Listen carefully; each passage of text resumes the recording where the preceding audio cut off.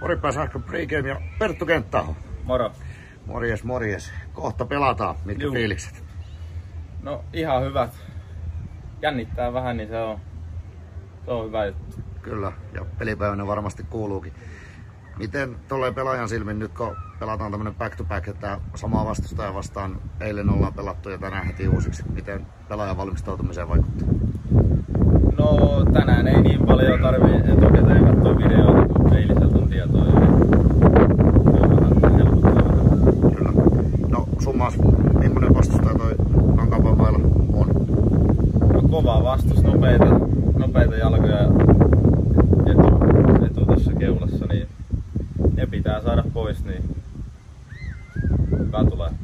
Niin sitä olisinkin seuraavaksi kysynyt, että mitä tänään pitää tapahtua, että eilen, eilinen tappio kääntyy tänään voitoksi, mutta varmasti, varmasti se on yksi juttu, mutta mitä, mitä muuta keksit esimerkiksi sen suhteen, millä saadaan oma sisäpeli auki?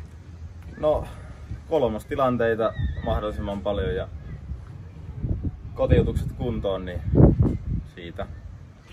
Kyllä. Sitten vielä, e- ei mitenkään liittyen tämän päivän peliin, mutta tosiaan vielä tätäkin kautta onneksi olkoon lukuisista itälänsivalinnoista. Ja Kiitos. nyt, nyt tota, jos, jos oikein käsitin, niin huomenna pitäisi olla Sotkamossa. Ja Joo. oliko vielä niin, että käsitinkö oikein, että peli on vielä 13.30? On. Piukka istus sulla tässä. No, Jännittääkö B-poikien peli?